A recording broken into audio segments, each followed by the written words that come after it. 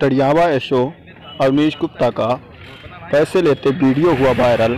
पान पाँच सौ के नोटों की गड्डी लेते दिख रहे हैं टड़ियावा एसओ जब इस मामले में संबंधित अधिकारियों से बात की गई तो एएसपी पश्चिमी कपिल देव यादव ने बताया कि जाँच चल रही है, यथाशीघ्र कार्रवाई की जाएगी।